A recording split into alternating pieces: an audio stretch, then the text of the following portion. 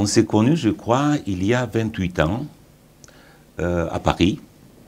Euh, c'était peu de temps après la révolution roumaine. Et bon, on a pris contact. Après ça, euh, vous étiez notre hôte à Bucarest comme auteur. C'est-à-dire la maison d'édition Humanitas a publié deux de vos livres le euh, euh, KGB en, France et après ça le KGB au pouvoir. Pardon. Euh, mais personnellement, c'est revu il y a, je crois, deux mois, quand vous êtes revenu en Roumanie à l'invitation de l'Académie civique d'Anna Blandiana et vous a donné une conférence qui m'a fait un plaisir énorme parce que vous avez expliqué au public roumain, il y avait quelques centaines de personnes dans la salle, au Théâtre national, euh, comment s'explique le succès du communisme dans le monde en général? Euh, C'était une conférence tout à fait remarquable et à cette occasion-là, en pensant au projet du festival de conférences à l'Athénée roumaine, on vous a invité de nouveau pour donner une conférence dans la salle de l'Athénée. Cette conférence va se passer ce soir et vous avez, le héros de cette conférence, c'est vous. Bon. Euh,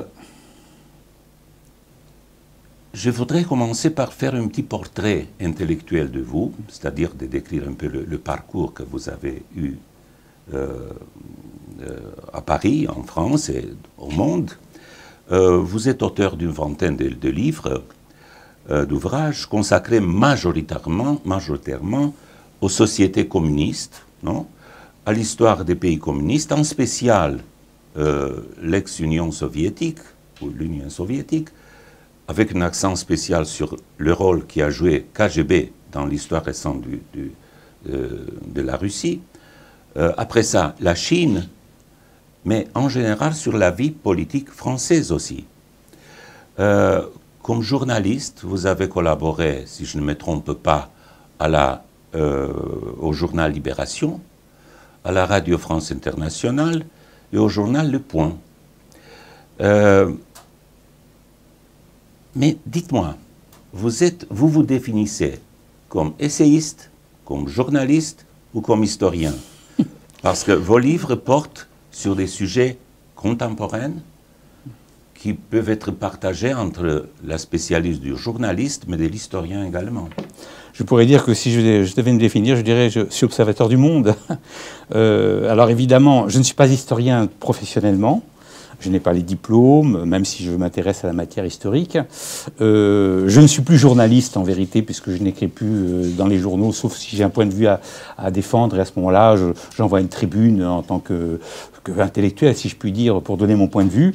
Donc finalement, comme je me consacre aux livres et que ces livres ne sont pas des romans, mais plutôt des essais, donc je, je me qualifierais d'essayiste. Le, le bon essayiste.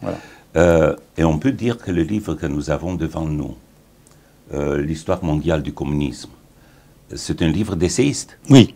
Bon. D'ailleurs, c'est marqué, euh, si, vous, si, vous, voulez bien que je précise, c'est marqué en page de couverture, pas, pas la couverture, mais en page de, à, à l'intérieur, il y a marqué essai.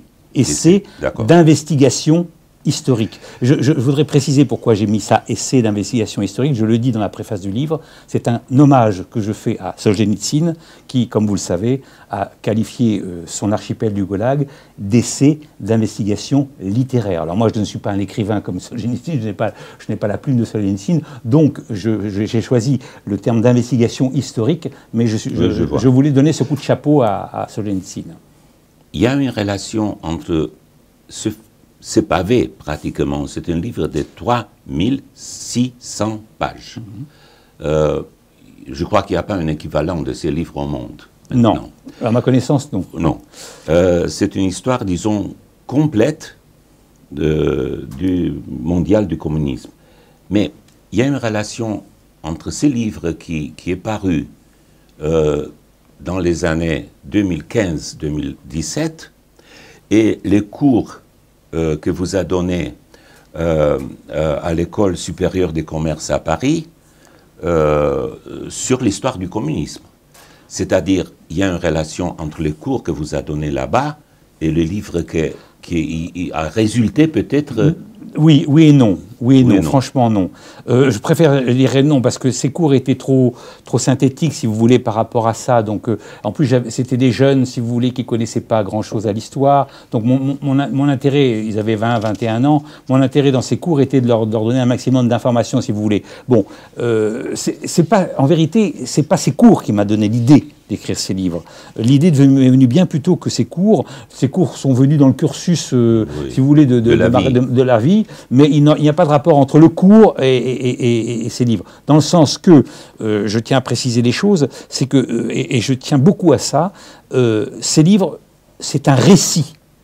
Je, je, tiens beaucoup au terme de récit. Ce n'est pas une analyse sèche, c'est un récit que j'ai voulu... Ça appartient à l'espèce narrative. C'est exactement. J'ai voulu vraiment raconter l'histoire, hein, et surtout euh, raconter à histoire d'homme. Pour moi, c'est très important, parce que souvent on raconte l'histoire en termes de rapport de force, d'état, de géopolitique, etc. Or, ce sont les hommes qui vivent l'histoire. Donc, et c'est particulièrement cette histoire dramatique, on en reparlera sans, sans aucun doute. Donc, si vous voulez, pour moi, c'était très important que ce soit un récit, et un récit vivant d'hommes, si vous voulez, euh, qui raconte une histoire tout en respectant bien sûr la chronologie, euh, euh, l'histoire, etc., Je n'invente rien dans ce livre. Il n'y a pas de dialogue que j'invente. Euh, toutes les situations dont je parle sont des situations prouvées, connues d'ailleurs en général. Je ne suis pas les premiers à les découvrir. Mais je les mets, je, les, je les, mets à les uns à la suite des autres, si vous voulez. C'est ça le terme d'investigation. L'investigation, c'est la découverte des choses, si vous voulez. mon mérite, le seul mérite que j'ai par rapport à cette histoire, c'est que j'ai rassemblé des milliers, de, enfin des milliers, des centaines, disons, d'éléments disparates, enfin, en tout cas chinois, euh, soviétiques, et je les ai mis ensemble pour voir les choses d'une façon globale. Voilà, c'est ça mon mérite. disons de début, ce genre de livres que vous avez écrits, euh, en commençant par le, je crois, par, euh, par les grands recrutements, un livre que vous avez écrit il y a, il y a 93 ans. 93, 1993.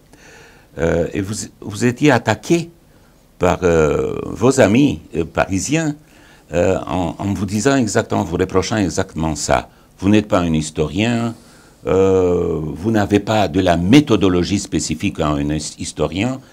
Et je crois que le même reproche, on va vous faire à propos de ces livres exhaustifs et qui est, comme vous venez de dire, une narration mais en même temps qui porte sur l'histoire. Hmm. Alors, il y a une distance entre la méthodologie de l'historien et votre méthode de, narrateur, disons. Vous avez raison. Je vais vous dire, un historien, des historiens, parce que c'est ça le problème aurait pu être capable de faire ce genre de livre, des historiens, mais pas un historien. Parce qu'un historien, il est spécialiste de l'Union soviétique, un autre de la Chine, un autre bon. Et en plus, l'historien, il a peur d'aller sur un terrain qu'il ne connaît pas, parce qu'il sait que ses confrères vont l'attendre avec une kalachnikov, comme on dit, hein, euh, pour, le, pour, le tuer. Donc, moi, je, ne suis, je n'appartiens pas à cette catégorie. Je peux me permettre d'aller sur tous les champs que je veux. Je suis un homme libre, si vous voulez. Donc, je vais sur les champs qui m'intéressent et qui me paraissent constructifs.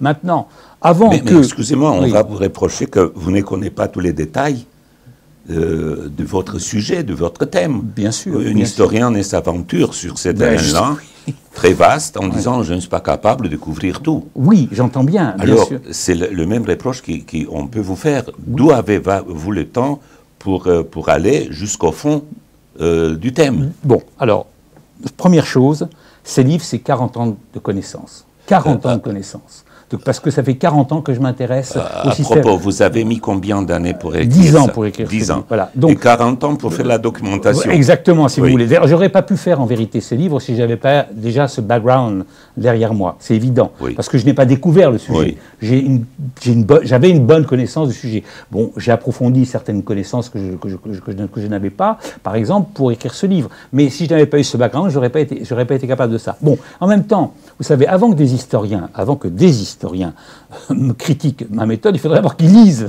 première chose. Hein, bon, et deuxièmement, il faudrait qu'ils soient compétents aussi, parce que bon, il y a des compétences. Je vous ai encore, je reviens à ce que je disais, des compétences sur l'Union soviétique, sur la Chine. Bon, j'ai parmi mes lecteurs, j'ai eu la chance d'avoir un, ce que j'estime, pour moi en tout cas, l'un des meilleurs sinologues français, qui est un monsieur assez âgé, qui s'appelle Lucien Bianco, qui a écrit un, livre formidable sur les, par exemple, sur les origines de la révolution chinoise.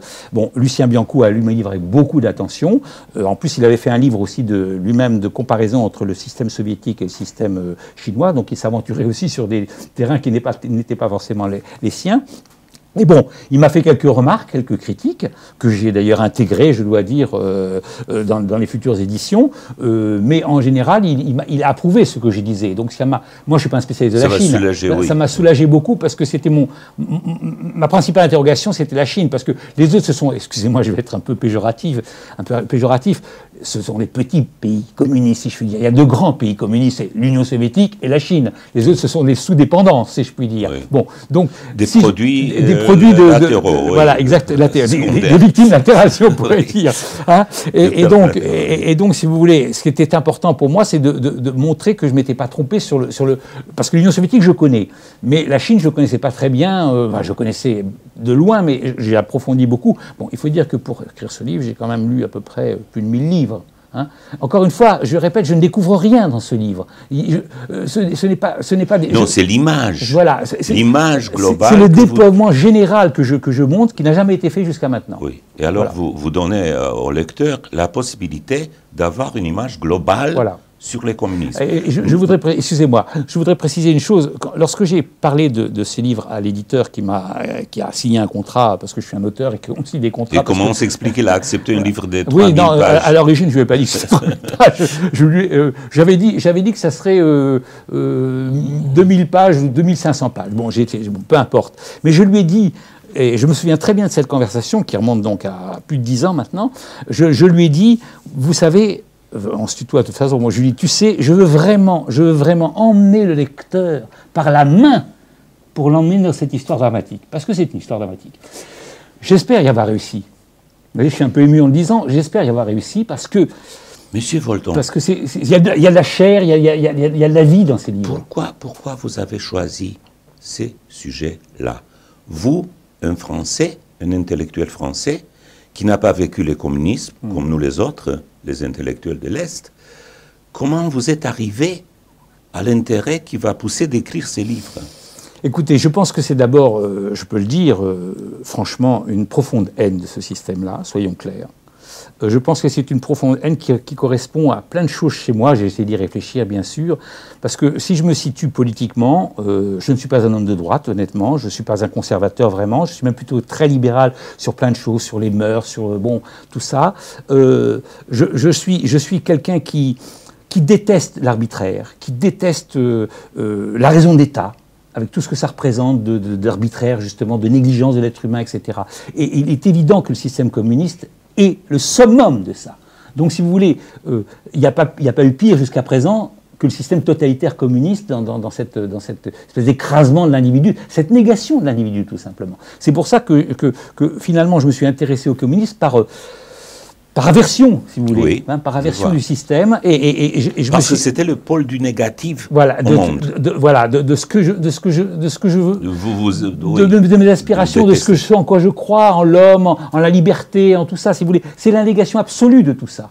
Donc, je, me suis, je me suis intéressé au mal absolu, en me disant qu'il fallait absolument, si je puis dire, combattre contre ce mal du temps où ça existait, Hein, puisque mm, j'ai beaucoup travaillé avec les dissidents à l'époque où il y avait encore euh, le système soviétique, et aujourd'hui, faire ce travail de rassemblement pour essayer euh, qu'il y ait une mémoire qui se mette en place de cette période-là qu'on a plutôt tendance aujourd'hui à oublier. Alors, l'origine, le mécanisme qui vous a poussé d'écrire ce livre, euh, c'est moral, le critère. Oui, je dirais que c'est moral. Alors bien sûr, on n'en a pas forcément, on a pas forcément conscience au moment où on agit. C'est quand on regarde des choses de loin. Si je regarde le chemin parcouru, si vous voulez, euh, par depuis, je veux dire, c'est évident. Enfin, ça me paraît évident, si vous voulez. Je prends, je, vais vous dire, je vais prendre un exemple.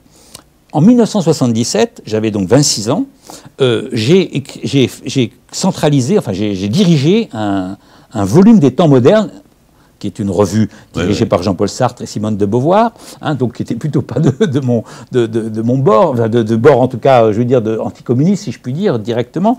Bon, c'était sur la vie quotidienne à l'Est. Et je tenais beaucoup que ça soit la vie quotidienne. Donc déjà, ce que je voulais décrire, d'ailleurs, le, numéro s'appelait Vivre à l'Est. Hein, je voulais décrire la vie quotidienne des gens, sortir justement des grandes théories, etc. Comment les gens à l'Est vivaient. Bon, donc, j'ai fait une préface de, à, ce, numéro spécial. Et quand j'ai commencé à écrire ce livre, je, me suis dit, tiens, je vais regarder ce que j'ai écrit en 77. Hein. bon, il s'est passé du temps quand même depuis, j'ai évolué, je suis devenu un homme, etc. Eh bien, j'ai relu cette préface. J'ai eu un sentiment de fierté, je veux dire, parce que je, je ne retirerai pas un mot aujourd'hui, si vous voulez, de ce que j'ai écrit lorsque j'avais 26 ans. J'en ai aujourd'hui 40 ans de plus. Alors, donc voilà. Vous, mais permettez, permettez-moi de vous, poser la question qui, dérive directement de, mhm. de, cette histoire que vous venez de me, raconter.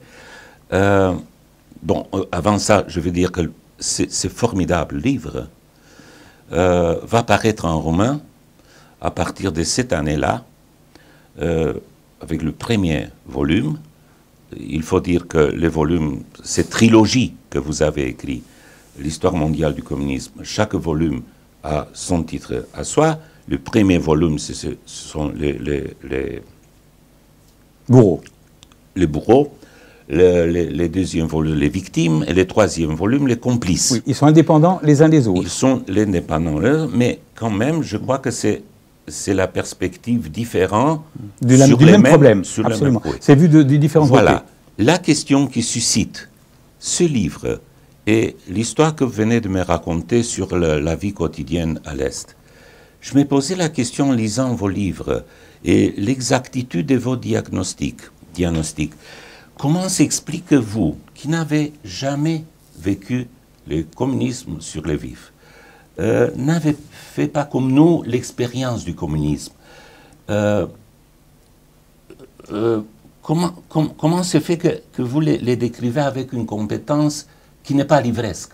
Oui. Alors je pense qu'il y a, excusez-moi. C'est toujours la question mm. que se posent les intellectuels ici. Mm. Vous, vous, faites partie de la même famille que, mm. disons, Revel, mm-hmm. Besançon, Furet, ainsi de suite tous ont dit des choses sur l'essence du communisme que nous, les intellectuels de, l'Est, nous qui avons vécu le communisme comme réalité de nos vies, euh, n'étaient pas capables de les formuler. Hum. Comment s'explique que des intellectuels français ont réussi à dire l'essence du communisme d'une manière plus précise nous. Alors, je ne peux pas répondre pour les autres, mais en tout cas, je, peux répondre pour moi déjà. Il y a déjà deux éléments qu'on qu joué. D'une façon générale, je pense que euh, quand on est à l'extérieur d'un objet, on a une vision peut-être plus claire que quand on est à l'intérieur de l'objet. C'est classique, je veux dire. Euh, toutes les expériences scientifiques vous, vous, le diront. Donc, si vous voulez, un regard Mais, mais, c'était une expérience épidermique. Oui, je sais bien. Je sais bien, je sais bien. Je sais bien. Et combien épidermique, j'entends bien. Mais je pense que le fait d'être un peu à l'extérieur de l'objet, si vous voulez, permet d'avoir une vision peut-être un peu plus globale. Mais c'est la principale raison. La, la, principale raison de mon, si vous voulez, de, mon côté, euh, je dirais, cher de la chose, de ces livres, vient de, deux choses. D'abord, j'ai eu la chance, si je puis dire, de euh, voyager beaucoup dans les pays euh, communiste de, à partir des années, entre les années 75 et les années 85, disons, euh, parce que j'étais journaliste et que euh, je, suis derrière la vélo de fer. J'ai rencontré Havel, Michnik, euh, voilà, exactement. Et, et, ça, ça a été pour moi, j'étais jeune à l'époque, et ça a été pour moi une chance extraordinaire, parce que quand on est jeune, on, on absorbe énormément de choses. Hein. Et si vous voulez, comme je le dis souvent, ces gens-là que j'ai rencontrés, qui, comme vous le savez, ont une qualité intellectuelle exceptionnelle, euh, ce sont les gens qui avaient vécu dans le système, qui avaient compris le système, qui combattaient le système. Et si vous voulez, ils m'ont donné la grammaire du système. comme je dis en général, c'est comme si vous regardez un ciel étoilé, et eh bien ils m'ont donné la place des étoiles, si vous voulez. Et, me donnant la place des étoiles, ils m'ont donné la compréhension globale du système. Ça, c'est une raison, la première. La deuxième raison, et c'est une raison plus personnelle, euh, je dirais, j'ai longtemps vécu avec une, jeune femme russe. Excusez-moi, je suis un peu ému parce qu'elle a disparu, elle est, morte euh, très jeune, euh, de maladie. Et euh, si vous voulez, cette jeune femme russe avait, vécu en Union soviétique. Elle elle avait eu le malheur, si je puis dire, de naître à Norilsk. Norilsk est une ville qui est au-delà du cercle polaire. C'est une ville qui a été construite par les prisonniers politiques sous Staline, qui existe aujourd'hui encore, Norilsk. Donc elle était née là, elle avait vécu 7 à 8 ans de sa vie dans cet enfer, parce que c'est un enfer où il fait moins 50 l'hiver, 25 degrés l'été, la végétation est naine, il y a un permafrost en permanence qui, qui évite tout, etc. Bon bref, dans, cette, dans cet enfer, elle était revenue, elle, était, elle, avait réussi à sortir de l'Union soviétique en se mariant avec un Français, ça c'est un détail. Et après, cette jeune femme, je l'ai rencontrée moi, dans le cadre du premier livre que j'ai écrit d'ailleurs, euh, à part, euh, qui, s'appelle L'Occident des dissidents, vous voyez déjà, qui date de 1979. Donc, euh, grâce, à, grâce à cette jeune femme, si vous voulez, j'ai touché de près euh, la réalité soviétique. Vous avez reçu l'intuition. Exactement. Et puis d'autre part, cette jeune femme était, a été très active, c'est bien pour ça d'ailleurs que je l'avais rencontrée dans le cadre du livre que j'écrivais, très active dans le milieu de la dissidence en Occident, si je puis dire, à Paris en l'occurrence. Donc ses amis, c'était Bukowski, Maximov, etc., des gens donc qui étaient euh, etc. Donc, donc elle m'a aidé en m'introduisant dans ce milieu-là, si vous voulez, à parfaire cette connaissance euh, que j'avais du système, qui, à mon avis, euh, se ressent aujourd'hui. Euh, C'est-à-dire que vous avez vécu les communistes par délégation, disons. Exactement. C'est une bonne explication. C'est une bonne synthèse. Voilà, par délégation. Voilà. J'ai eu la chance, si vous voulez, de ne vivre que par délégation, je pourrais dire. Hein. je préfère le vivre par délégation qu'en réalité. Oui, oui. Ça, c'est votre chance à vous. Voilà, c'est ma chance à moi. Euh, bon, euh, livre. Euh, je, disais que ce livre va être publié en roumain. cette année-là, le premier volume, l'année suivante, le deuxième volume, et dans les années 2020, on va terminer la traduction et la publication de votre livre en, en roumain. pour moi, c'est une énorme joie d'avoir cette narration complète du communisme dans un pays qui a souffert énormément. Permettez-moi de dire que pour moi, c'est une fierté que vous le traduisiez. Voilà. Merci, merci beaucoup, M. Volton. Voilà. Euh, j'ai lu un peu les échos euh, qui a eu le livre une fois paru, les premiers deux volumes. Euh, on a dit c'est une histoire mondiale du communisme un peu trop anticommuniste. Pour nous, ces mots, le communisme, pour moi, le communisme antiviscéral, un peu trop anticommuniste, euh, euh, communisme primaire, toutes ces expressions euh, provoquent en moi une révolte intellectuelle. Parce que si le communisme est le visage du mal, un des deux visages du mal du XXe siècle. Et, comme vous dites, c'est l'incarnation du mal. Comment on peut dire que c'est un peu trop... On ne dit pas, euh, bon, ce monsieur a fait un, un crime et je ne vais pas être tellement anticriminel en parlant de lui.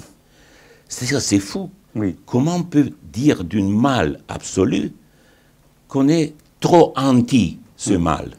D'où vient cette, énormité de caractériser les personnes qui décrivent le mal euh, comme étant trop anti le mal? Oui, je, suis aussi révolté que vous, je ne vous le cache pas. Bon, il faut quand même préciser que cette réflexion euh, qui a été faite sur le... C'est dans le bouche de tous les intellectuels de gauche de chez vous.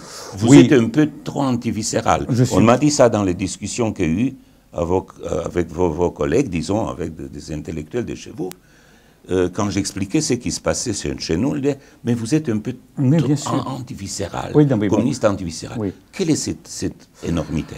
Alors, ça, ça, vient, ça vient de plusieurs choses. Ça vient d'abord, c'est un héritage, je dirais, d'abord du communisme, première chose. C'est-à-dire que je m'explique. C'est que euh, l'anticommunisme a été considéré, a été, a été pas considéré, a été on a mis dans la tête des gens qu'être anticommuniste, c'est forcément être euh, de, droite, euh, d'être réactionnaire, d'être à la limite fasciste. C'est à côté du fascisme. Voilà, exactement. Si vous êtes Qui est anticommuniste, c'est un peu pro-fasciste. Donc, donc, on a adopté le point de vue communiste, parce qu'évidemment, c'est le point de vue communiste, en disant ce qui ne sont pas avec nous est contre nous, si vous voulez. C'est ça. Hein. évidemment, euh, être contre nous, c'est forcément être fasciste. Donc, aujourd'hui, c'est encore si vous voulez, les scories, je dirais, de cette pensée qui est très très profonde, très imprégné dans les esprits de beaucoup de gens, pas uniquement de gauche d'ailleurs. Hein. Ça, c'est la première chose. La deuxième chose, ça tient euh, au fait que euh, les gens, euh, d'une façon générale, hein, là je ne parle pas uniquement des intellectuels, sont dans une période, non pas vraiment... la première chose, c'est que, un, le communisme, il faut le reconnaître, a soulevé une formidable espérance dans le monde entier, d'accord? Une formidable espérance qui s'est conduite, qui, a toujours été, qui a toujours abouti à un formidable enfer, soyons clairs. Mais, vous avez parlé dans la conférence dont, on discutait, euh, donnée au Théâtre National, de la passion égalitaire, égalitariste. Oui, égalitariste du communisme. Oui, bien sûr. Ça, ça c'est le noyau, si vous voulez. C'est parce que je pense qu'effectivement, il y a... Ça euh, répond à cette passion. Oui, dans chez l'être humain, d'une façon générale, il y a, il y a, une, il y a une, passion égalitaire, c'est-à-dire qu'on n'aime pas que quelqu'un soit plus riche que nous. Euh, euh, c'est toujours celui d'en haut. On ne veut, on veut, certainement pas être... On n'est pas, contre, on n'est pas contre celui d'en bas parce qu'on n'a pas envie de le rejoindre, mais c'est celui d'en haut qu'on a envie, si vous voulez. Donc cette passion égalitaire qui appartient, qui est finalement une passion humaine, totalement humaine, euh, est une passion. Euh, le communisme a répondu à cette passion, si vous voulez, en, prétendant que euh, la société communiste arrivera à une égalité parfaite des gens, etc., etc. Bon, ça, ça parle aux gens, si vous voulez. Donc, si vous dénoncez ce système, si vous dénoncez cette idéologie, vous, êtes, vous passez pour quelqu'un qui est finalement un salaud, quelque part, parce que vous ne voulez pas que tous les hommes soient égaux. Mais ou bien on vous répond on vous répond que ce n'était pas les, les, vrais communistes. Ah oui, ça, c'est un autre argument. Oui, parce qu'il y, y, a un argument, alors maintenant, c'est le grand argument de, des gens qui veulent sauver le bébé, si je puis dire, c'est de dire, mais jusqu'à présent, il n'y a pas eu de vrais communistes. Moi, j'ai eu cette conversation avec le secrétaire général, du secrétaire national, pardon, du Parti communiste français, parce que nous avons encore en France un parti communiste, qui s'appelle le Parti communiste français, hein, qui, dans une émission de radio, euh, reconnaissait le bilan catastrophique du communisme, mais disait, mais... Euh, nous, si on fait le. C'est ça le communisme que nous, que nous rêvons. Exactement, ce n'est pas le communisme que nous avons l'intention de construire. Alors, je lui réponds qu'il y a eu 27 pays communistes, que les 27 pays communistes ont, conduit exactement au même résultat. Comment, quelle prétention peut-on avoir que ça ne vienne aboutir Alors là, ils sont un peu, un peu muets, si je puis dire, mais bon. Donc, il y a toujours donc, il y a cette espérance, il y a cette passion égalitaire, il y a ce côté très positif que l'on voit du communisme, qui fait que si vous dénoncez ça, vous êtes finalement, vous dénoncez le, comment dire, l'espérance, l'espérance. Vous, vous, tuez l'espérance. Et ça, on supporte. L'homme, il n'aime pas ça, vous savez, c'est. Voilà, c'est ça. Donc, on vous accuse d'être un communiste viscéral, primaire, etc. Moi, je dis, je suis effectivement tout ça, je le reconnais. Euh, je vais vous donner une citation d'un journal français euh, d'un monsieur qui a écrit sur votre livre après l'apparition du premier de volume. En dépit des apparences, il serait injuste de présenter ces 2300 pages, parce qu'il s'agissait des deux premiers livres. De, livres, comme l'œuvre d'un anticommunisme primaire. Même si les nombreux chapitres dégagent un lourd parfum de guerre froide. Oui. Je sais, c'est dans un journal qui s'appelle L'Observateur. Oui. Mais euh, ce qui est très intéressant, parce que je voulais vous faire une petite réflexion. Quelle est la, relation qu'il fait entre la guerre froide et vous êtes, vous n'êtes pas même un, un anticommuniste primaire, mais quand même oui, parfum oui, parce lourd. Que oui, c'est intéressant parce que ça veut dire que la guerre froide, nous sommes responsables de la guerre froide. Vous voyez ce que je veux mhm. dire? C'est ça qui est intéressant dans, cette, dans cette réflexion-là. Ça veut dire que finalement, les Occidentaux sont responsables de la guerre froide. Ils sont coupables de la guerre froide. Donc revenir dans la guerre froide, c'est ne rien avoir compris finalement.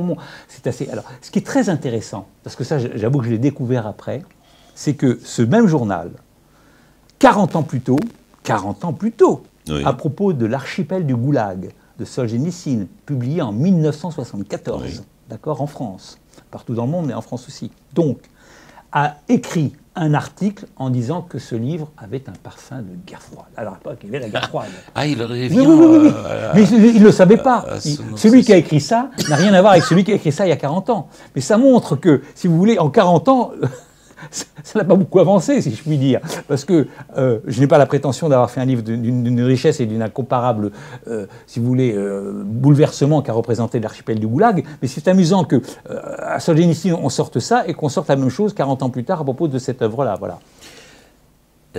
une question qui, qui, qui, pose toujours vos livres, vos préoccupations la conclusion de ces livres-là, vous dites, à un moment donné, nous vivons toujours dans l'après-communisme. Qu'est-ce que ça signifie? Euh, Que nous n'avons pas encore fini avec le communisme, bien qu'il y a eu la révolution qui a libéré les pays de l'Est du communisme, euh, que le communisme hante toujours la planète, euh, que la passion égalitaire dont nous avons déjà parlé, c'est la racine psychologique éternelle, euh, indestructible du communisme. Qu'est-ce qu'il en reste du communisme de nos jours? Alors, pour être clair, je pense que le communisme est mort est mort, mais non, attendez, il survit. Attendez, oui, justement. il, est, il est mort dans le sens que c'est quelque chose.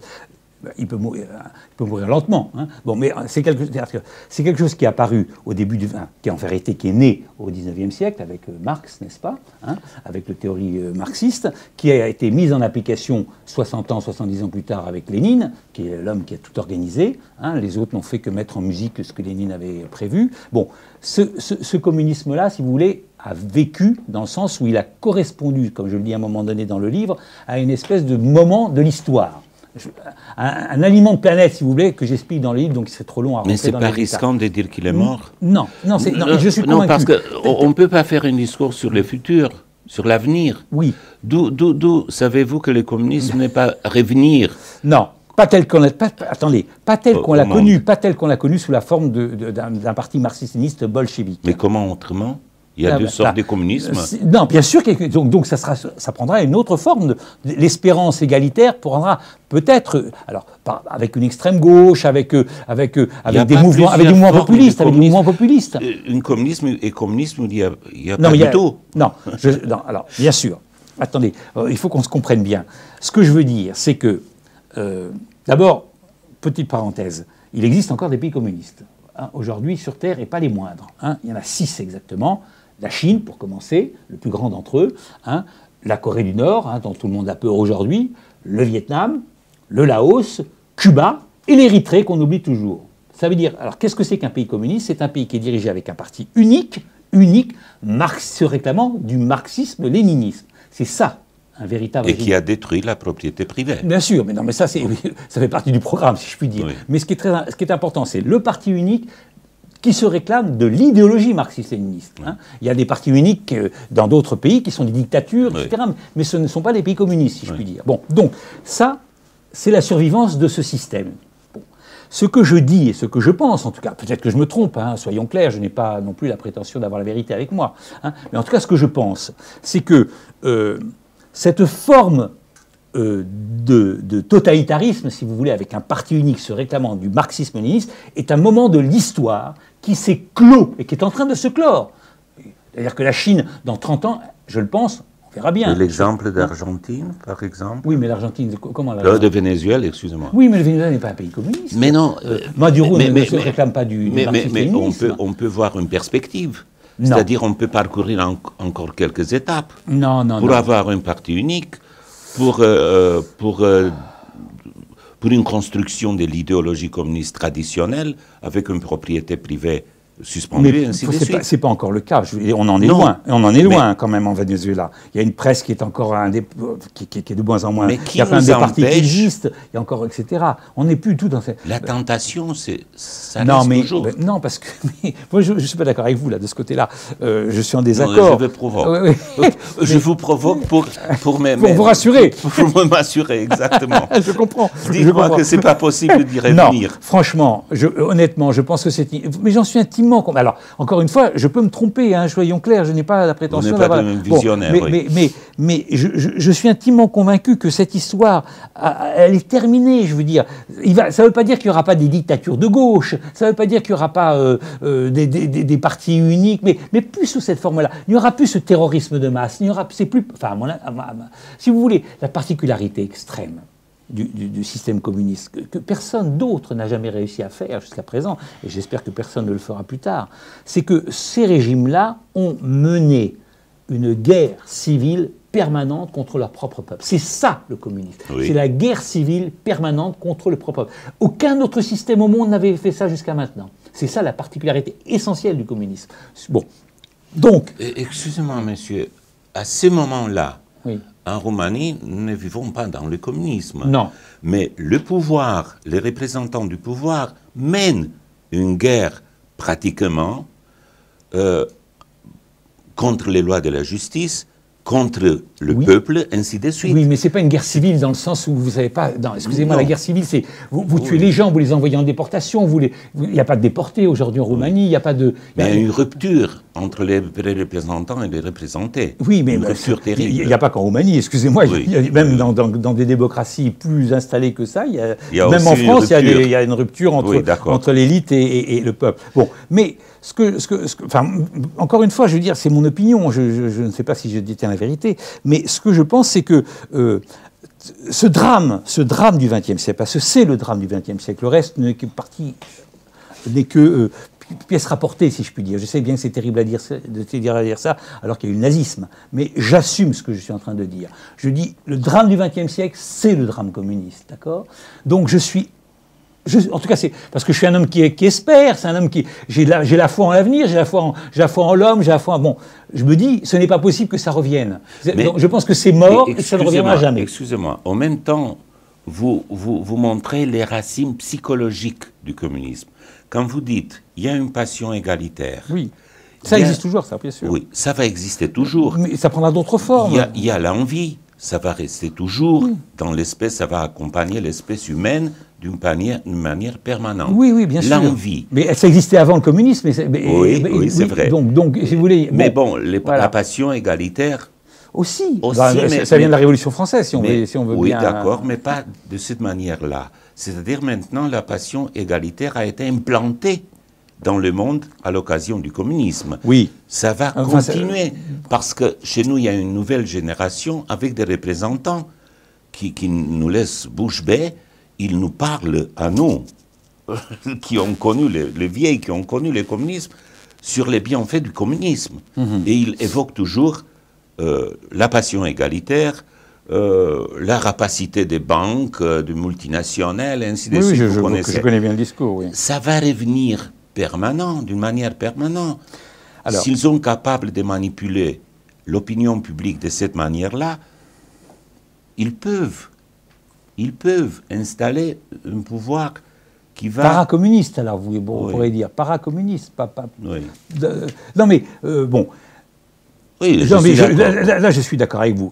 À partir du moment, alors à ce moment-là, euh, si, on, si on part du principe que le communisme, c'est l'égalité, évidemment, à ce moment-là, ça a de l'avenir, puisque l'égalité n'existera jamais. L'égalité, c'est un faux problème. L'égalité, c'est une espérance que.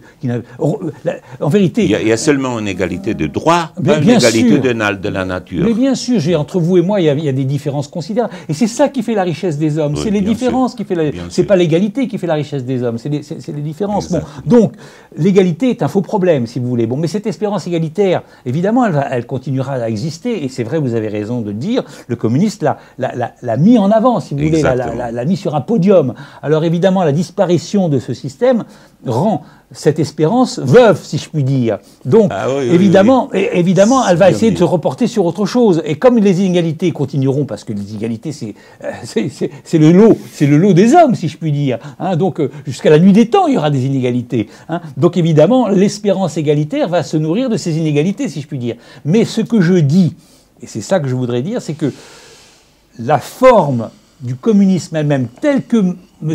Lénine l'a mis en place, est finie. Ça ne veut pas dire qu'il n'y aura pas des espérances égalitaires qui vont prendre notre, qui se ressembleront à celles-ci. Mais ça, ça, sera des cousins germains, si vous voulez, ou, des, fils euh, héritiers. Mais ça ne sera plus ce modèle-là, criminogène à 100%. D'abord parce que quand même, en tout cas c'est l'histoire porte quelquefois. Hein. Je, sais, bien que l'histoire, d'abord l'histoire ne se répète pas, mais quand même l'histoire, les hommes tirent des leçons de l'histoire. Alors, même si aujourd'hui, euh, même, si aujourd'hui, même si aujourd'hui cette histoire est encore, elle est méconnue, et elle va être méconnue pendant très longtemps, parce que mon, mon pari, et je n'arrête pas de le répéter, c'est que tant qu'il y aura des témoins tant qu'il y aura des témoins de cet épisode. Je ne parle pas, des bourreaux, je ne parle pas des victimes, je parle des témoins. Je parle des Occidentaux qui ont regardé ça, indifférence, qui ont détourné le regard, de tous les gens qui ont connu cette époque-là. Tant qu'il y aura donc des gens vivants de cette époque-là, il sera impossible de faire la véritable histoire du communisme, c'est-à-dire celle, celle qui est la plus dramatique qui puisse exister. Je prends pour preuve, il faut donc à un moment donné ce que j'appelle une période de deuil. Et nous sommes dans cette période de deuil par rapport à ça. Je prends pour preuve un événement qui cette année. Qui vous savez que cette année, nous, nous, allons, nous célébrons le centième anniversaire de la fin de la guerre de 14-18. Il est très intéressant, en tout cas en France, c'est très intéressant, qui est une guerre, une boucherie. Hein, mais, donc, mais tant qu'il y avait des gens qui avaient participé à cette guerre, il était impossible vraiment de mettre en, évidence le drame de cette guerre, inutile, euh, euh, massacreuse, d'hommes, etc. C'était impossible parce que les gens qui avaient vécu ça, d'abord ils avaient l'impression d'être cocu de l'histoire, si on disait ça, si je puis dire. Hein donc d'avoir été trompés sur ce qu'ils ont vécu. En plus, ils avaient été acteurs pour certains d'entre eux. Mais aujourd'hui, il n'y a plus personne, puisque 100 ans, la loi de la nature est passée par là, il n'y a plus un seul vivant. En tout cas, en France, il n'y a plus un seul vivant de cette période-là. Donc, le regard de l'histoire commence à changer. Et ce regard est très intéressant parce qu'on est en train de s'apercevoir que cette guerre qu'on a glorifiée, parce qu'il y a eu 1 800 000 Français qui sont morts, je parle de la France, il y a dans tous les villages de France un monument aux morts avec des noms inscrits. Donc, et, la patrie euh, euh, rend hommage régulièrement à ces morts. Bon, eh bien, ce regard, si vous voulez, euh, de, compatissant par rapport à cette histoire-là, est en train de changer. Et on s'aperçoit que finalement, ces gens-là, ces 1 800 000 morts, sont souvent morts dans des conditions épouvantables, de stupidité absolue, d'un état-major euh, criminel, etc. Si vous disiez ça 40 ans auparavant, vous étiez mis au bord de la société française. Si vous disiez ça en 1920, vous étiez quasiment fusillé. J'entends. Vous étiez un antipatriote. Vous voyez ce que je veux dire? Donc, Mais, bah je finis sur ce que je voulais dire, c'est que le recul du temps permet, parce qu'il n'y a plus de témoins, enfin de rétablir ce qui a été l'histoire pour les hommes qui l'ont vécu. Moi, j'ai confiance dans l'histoire, d'une façon générale. Je pense que le recul du temps, c'est-à-dire quand il n'y aura plus aucun témoin, alors malheureusement, il y a encore des pays communistes, donc euh, ça va nous ramener, euh, euh, ramener peut-être en 2200, en, 2050, en 2150, j'en sais rien. Mais tant qu'il y aura des témoins, il sera impossible véritablement de faire le bilan de cette histoire et de reconnaître que c'est la plus dramatique de toute l'histoire de l'humanité. Euh, je joue le rôle d'avocat du, diable. Parce que ça vous va bien, ça vous va bien. Votre parti, votre, votre discours me convient. Naturellement, mm. euh, ça, ça, nourrit mon espérance à moi.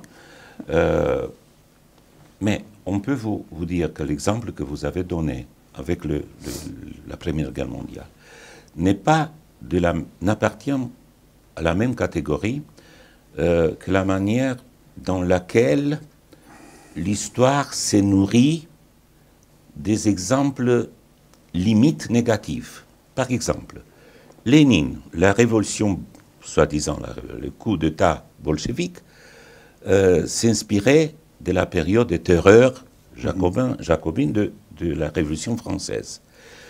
Après ça, Lénine est resté comme un modèle d'où euh, se nourrit différentes expériences communistes du monde. C'est-à-dire, les gens ont toujours la tentation de prendre comme exemple les cas extrêmes de l'histoire.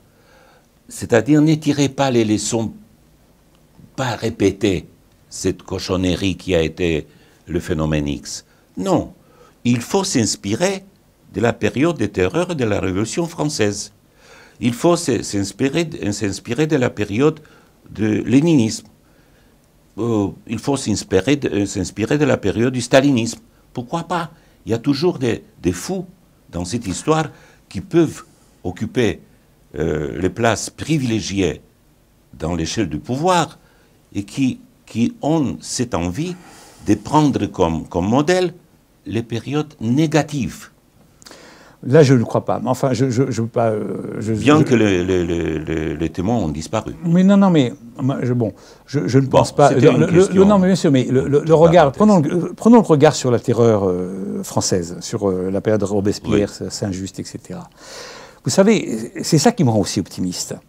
C'est que en 1920, 1930, 1950, 1960, en France, je parle de, l'historien, de, l'histoire des historiens français. Ce qui dominait, c'était Robespierre était formidable, c'était tout ça. bon. Et puis est arrivée une, remise en cause de ça, dont le principal acteur a été François Furet, il faut le dire, pas Qui il faut absolument rendre hommage, qui a vraiment là-dessus fait un travail d'historien absolument remarquable. Donc il a bouleversé, si vous voulez, le point de vue de l'histoire. L'évaluation. L'évaluation de l'histoire. Et, il a, il, a, il, a, il a mis en valeur que d'abord, la, Révolution, c'était un bloc, hein, et, que, et, que, ce bloc, est justement, le pôle de ce bloc le pire, ça a été euh, la période de la terreur. Bon. Et du coup, si vous voulez, aujourd'hui, franchement, Parmi les historiens euh, français, en tout cas, enfin je parle des historiens français, il n'y a plus, plus grand monde qui va vous dire que Robespierre c'était formidable, qu'il a eu raison, etc., etc. Donc oui, ça donne de l'espoir quand même, oui, quelque part. Hein. donc, donc, je, donc je pense que le recul du temps va nous permettre d'établir d'établir véritablement cette histoire. Je vous donne pour preuve une chose. Tout à l'heure, vous parliez d'un article qui était critique à mon égard. Cet article venait d'un journal qui s'appelle l'Obs d'accord, qui est un journal, un hebdomadaire de centre-gauche, disons, d'accord. Trois mois ou quatre mois ou cinq mois après cet article, l'Obs a fait une couverture.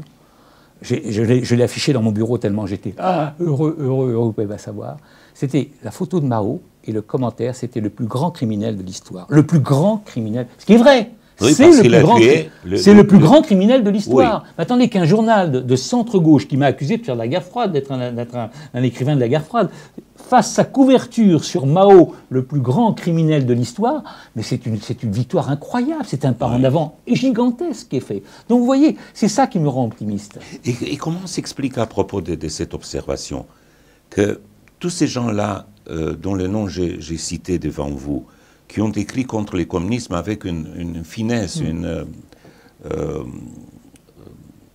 compétence euh, inexplicable, ont commencé leur destin en partant du communisme. Mm. par exemple, Alain Finkielkraut, mm. qui est un personnage extraordinaire pour moi, mais très respectable, il était maoïste pendant les, années 68, pendant la révolution euh, éducation, révolution éducationnelle, je dirais. Euh, c'était un moment terrible parce qu'on a éliminé pratiquement une tradition d'enseignement formidable. Bon, tous ces gens-là, euh, Glucksmann, Besançon même, je ne sais pas si Revel aussi. Furet a été membre du Parti Furet, oui. Non, Revel n'a pas été membre. Comment s'explique qu'ils ont réussi à faire les pas euh, dans la bonne direction après. Et comment s'explique qu'on choisit comme, comme modèle les plus criminels du monde? Mais alors, je vais vous dire, je pense que ça va peut-être La révolution culturelle était fascinante pour eux. Bien sûr, bien sûr, bien sûr. Oui, il y a des. Euh, je parle dans le troisième volume sur les complices, justement, des voyages qu'ont fait quelques intellectuels. ils ne connaissaient pas les détails. Mais s'il il voulait, non, il ne voulait pas les connaître, tout simplement. Parce que ah on pouvait les connaître. il ne voulait pas les connaître. C'est l'aveuglement classique de l'intellectuel. Je veux dire, s'il ne veut pas voir, si on ne veut pas lui. Et la jeunesse aussi, c'était Bien sûr, bien sûr. Euh, en même temps, je, vais vous dire quelque chose. Je pense que, j'en suis quelque part aussi un exemple, si je puis dire. Je pense que euh, si vous voulez être critique du système communiste, je pense qu'il faut euh, l'avoir euh, un peu pratiqué, si je puis dire, de l'intérieur. Hein. Vous parliez de, de, Furet, qui a été membre du parti, Besançon a été membre du parti, Annie Kriegel, qui était une grande, qui, était, qui est devenue une, des meilleures analystes du, communisme, était membre, et elle a sacré membre, je veux dire, elle, a, été une, une, méchante communiste, si je puis dire. Hein. mais après, moi je l'ai connue, c'est une femme formidable. Bon, bref. Donc je pense qu'avoir fricoté avec le fricoté pratiquer le système permet, quand on en sort, de mieux le comprendre. J'en suis quelque part un exemple. C'est un retournement. Oui. oui, je pense que moi, moi quand j'étais jeune, quand j'étais très jeune, j'avais, j'avais, j'avais 17 ans en 1968. Euh, j'ai évidemment été enthousiasmé par cette euh, mai 68 français. Ensuite, je suis devenu un peu maoui, je dois dire. Hein. Euh, et, oui, oui, vous me regardez avec des yeux effarés. et ça n'a pas duré très longtemps parce que je suis trop indépendant pour me mettre dans un parti. j'ai un esprit trop indépendant pour qu'on me donne des ordres. Mais bon, peu importe, j'ai quand même c'est à cette époque que j'ai lu énormément euh, Lénine, j'ai lu Marx, j'ai lu Mao, ça n'apportait rien. Bon, Qu'est-ce qu'on peut dire des Mao, oui des, des, des, fadaises. Bon, peu importe. Bon, enfin bon, mais c'est grâce à ça que j'ai aussi euh, progressé considérablement. Je pense qu'il faut connaître. Moi, je me suis payé. Vous savez, il faut lire euh, Matérialisme et impériocriticisme du camarade Lénine. Il faut le lire, hein, parce que ben, Moi, nous avons étudié ça dans la faculté. moi, j'étais un homme libre, donc je l'ai lu. Je l'ai lu librement, si je puis Et ça m'a aidé. Oui, ben, bien sûr. Pour la critique du bah, communisme. Vous voyez C'est vrai. Bah, vous voyez, donc je pense que venir. C'est-à-dire, je parle en connaissance de cause. Exactement. Moi, un marxiste, si vous voulez euh, je le sens, je le, vois, je le sens. Dès, dès qu'il me parle de quelque chose, un marxiste, je le reconnais parce que je sais le mode de pensée. Mais si le communisme est fini, et nous, nous allons finir dans quelques minutes, si le communisme est fini, vous dites, comment s'explique qu'il n'y a pas encore un Nuremberg du communisme? Alors, c'est. Parce que ça, ça devrait accompagner Normalement, oui. la fin du communisme. Oui, mais là, euh, d'abord, c'est très compliqué. Euh, d'abord, je pense que c'est trop tard maintenant. S'il fallait le faire, il aurait fallu le faire au moment où l'Union soviétique s'est effondrée, c'est-à-dire en 91, 92, 93 éventuellement, comme a essayé d'ailleurs de le monter à l'époque Vladimir Boukowski, d'essayer de monter C'est jamais trop tard. Je sais bien que c'est jamais trop tard. Mais le terme de Nuremberg, d'abord, euh, d'abord ça pose problème.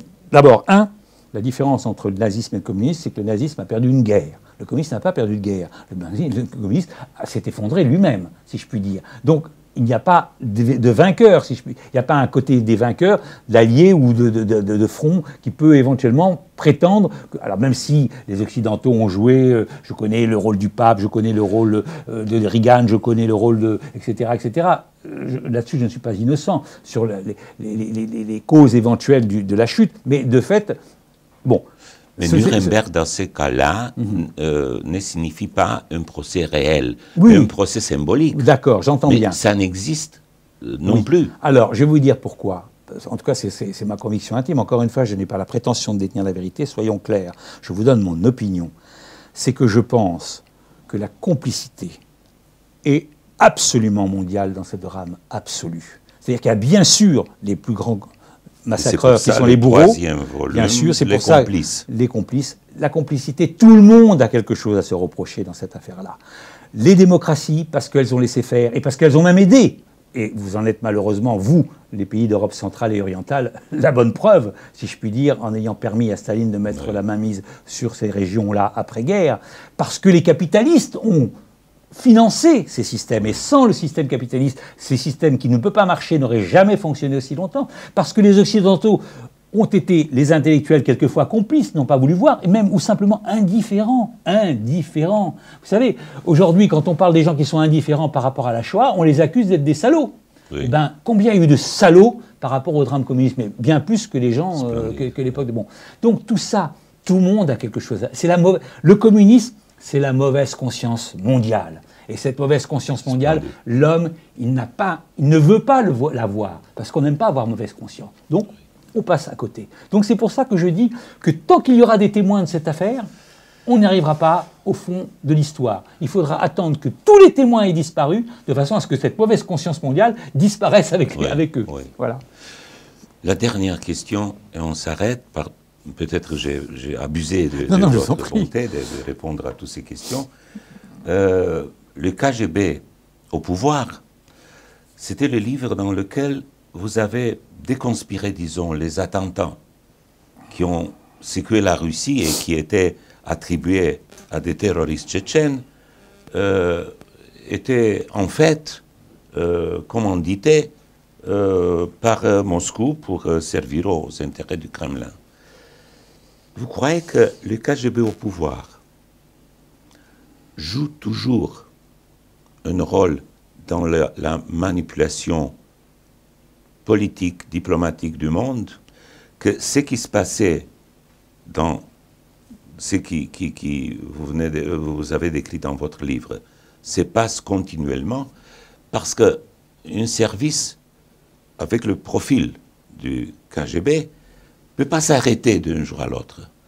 Ils, font ce qu'ils savent faire. C'est-à-dire, ils continuent de, de, fonctionner comme un service d'élite. Euh, au service d'un, bien sûr. non, mais, vous avez raison, je veux dire, c'est évident. Euh, la Russie d'aujourd'hui, il n'a rien à voir, encore une fois, soyons clairs quand même, dans une certaine mesure. On ne peut pas comparer la Russie d'aujourd'hui avec l'Union soviétique d'hier, d'accord? Maintenant, il y a des réflexes, il y a des, il y a des, il y a des comportements, il y a des, des, forces, des forces obscures, si je puis dire, qui sont l'héritage de ce système-là, évidemment, dont Poutine est bien sûr le représentant. Mais, mais euh, KGB ne, sait pas faire autre chose que, que, qu'il sait faire. Eh bien, que de comploter, euh, de, de, bien sûr. De, alors, ça, ça, ça, prend des, formes nouvelles avec... Euh, des interférences Internet, avec tous les fake news, etc. Une nouvelle forme de guerre, finalement. Hein, une guerre, de la, une guerre de la communication, dans laquelle ils sont bien plus en avance que les Occidentaux le sont. Hein. Bon, ce qui est très, d'ailleurs, c'est très amusant, parce que si vous y pensez, c'est un peu le retour euh, du berger à la bergère, comme on dit en français. Parce que, comme vous le savez, une des causes de la chute du communisme, ça a été justement aussi euh, la bataille idéologique euh, par les radios occidentales, par le cinéma, par la, par, la, musique, par tout ça, la fascination que vous aviez à l'Est, vous, pays pauvre, pays peu développé par rapport à, euh, l'Occident. Donc cette culture a joué, a miné, a miné le, terreau communiste sur lequel reposait, si vous voulez, le, régime. Et finalement, au bout d'un moment, c'est effondré. Donc ils nous renvoient, si vous voulez, la balle aujourd'hui par, par leur méthode méthode euh, subversive, si vous voulez, dans un monde de, plus en plus médiatisé, dans un monde mondialisé justement de réseaux, etc. Ils, utilisent l'arme, si vous voulez, que les Occidentaux ont utilisé avec les radios, etc. contre nous, contre les démocraties, pour essayer de, les saper, de, en tout cas de, les dénaturer, euh, et, et, ils réussissent d'ailleurs pas mal, parce que il est à peu près certain, on verra, euh, laissons faire le temps, il est à peu près certain que euh, le rôle joué par euh, la Russie euh, dans l'élection américaine n'est pas négligeable. Je ne dis pas que c'est ce qui permet d'expliquer véritablement la victoire de Trump et la défaite de Hillary Clinton, mais ça a été un élément, sans doute, parmi d'autres éléments. Voilà. Monsieur Volton, je vous remercie infiniment pour le plaisir du dialogue que vous m'avez offert. Et on vous attend à l'occasion du lancement du livre à la fin de l'année. Mais mon plaisir, j'espère qu'il fera un peu meilleur que. De ce livre extraordinaire. bon, mais je, je reviendrai avec plaisir, croyez-moi.